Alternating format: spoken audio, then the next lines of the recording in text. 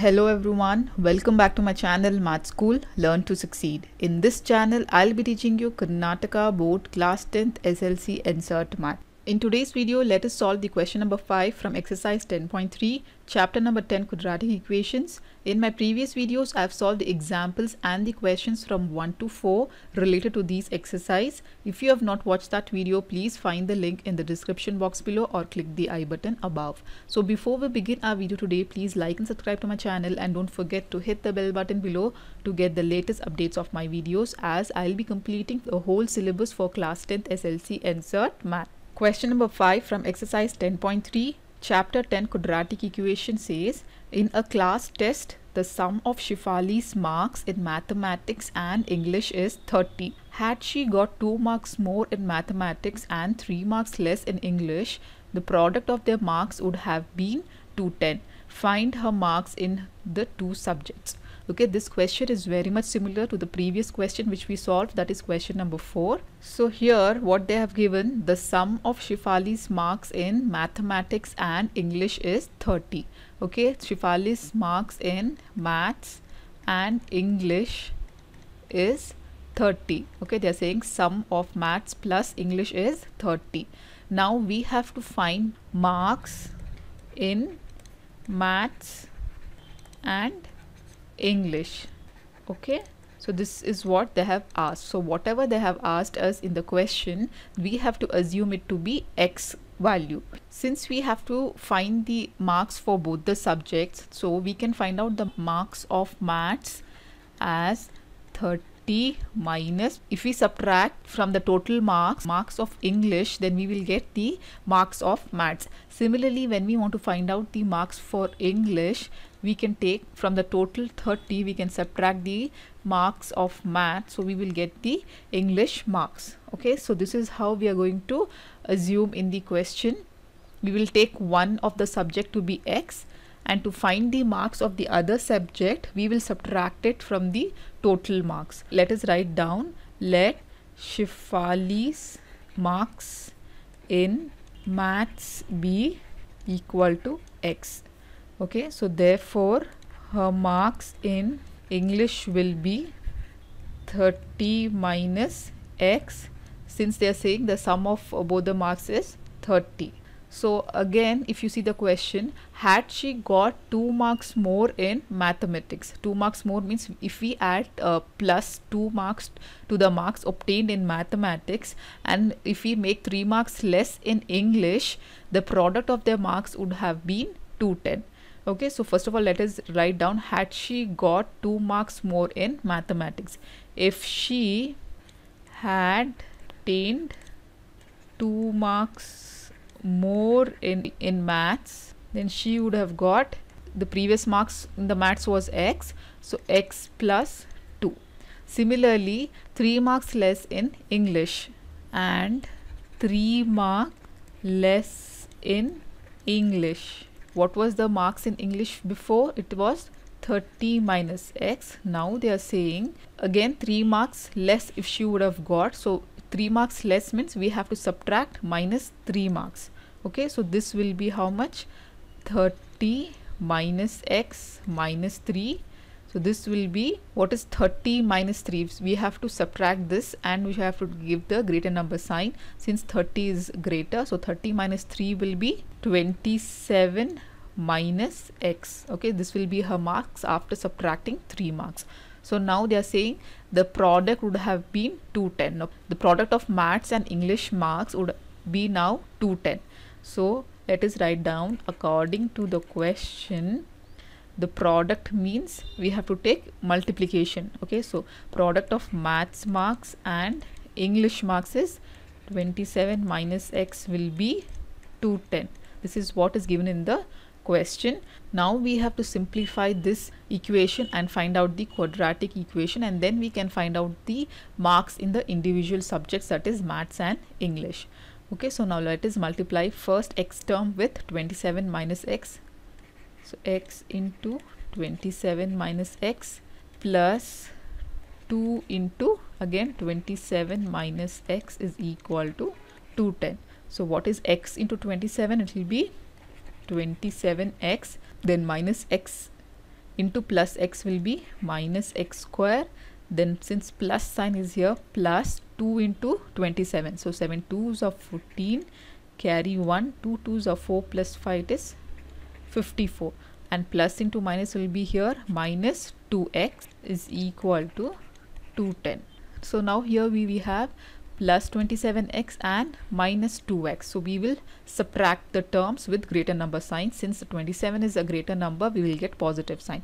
So 27 minus 2 we will get as 25x minus x square plus 54 is equal to 210 so here since negative sign is there for the x squared term so we will send these whole three terms to the right hand side.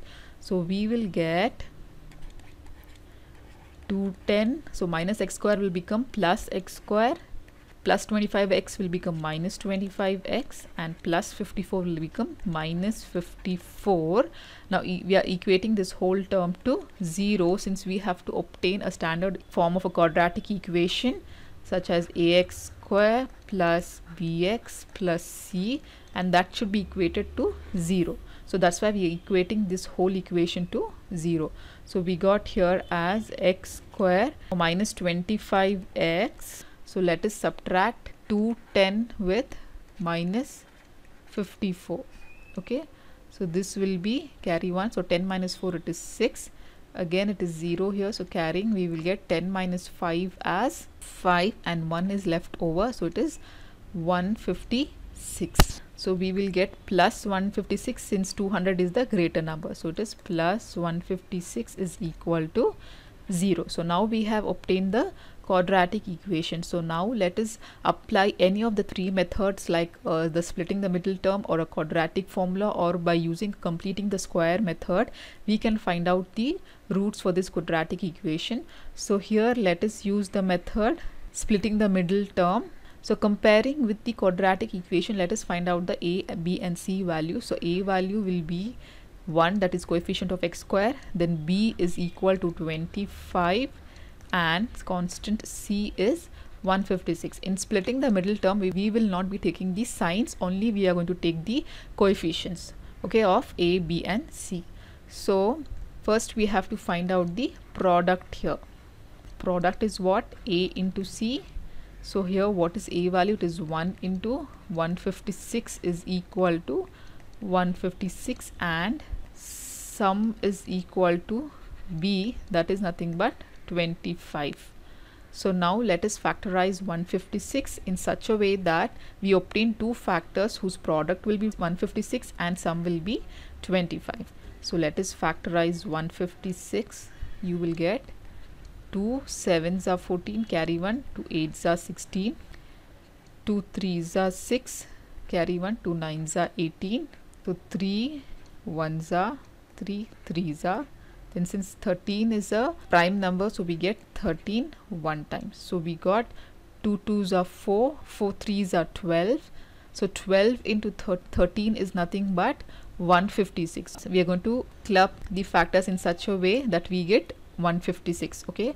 So 2 2s are 4 4 3s are 12 so 12 into 13 you obtain the value 156 and and we will take sum 12 plus 13 is equal to 25 so this is how we are going to split this middle term 25 so let us write down x square minus the sign will remain as it is. So instead of 25 we will write 12 plus 13 into x plus 156 equal to 0 so let us open the brackets x square minus 12 into x again 2 plus will be minus 13x plus 156 is equal to 0 now let us take common between these two terms and these two terms. So if we take x outside we are left with x minus 12 and now again let us take minus sign here.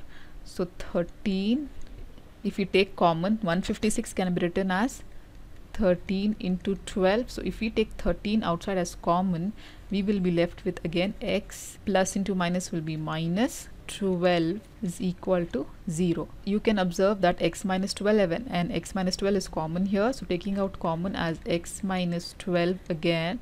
So you will be left with x minus 13 is equal to 0 so equate each of these brackets to 0 so x minus 12 is equal to 0 and x minus 13 is equal to 0 now let us send minus 12 to the right hand side here. So we will get x is equal to 12 and x is equal to 13 so now what did we assume initially? X to be the marks in math so when x is equal to 12 marks in maths is equal to 12 and marks in English.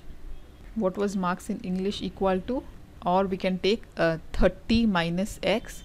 So what is 30 minus 12 it is 18 and similarly when x is equal to 13 then marks in maths is 12 and in English it will be 30 minus x that is 30 minus 13 which is equal to 17 okay? So this is the result. So this is how we solve this problem. Number 5 if you have any doubts please comment me below in the comment section.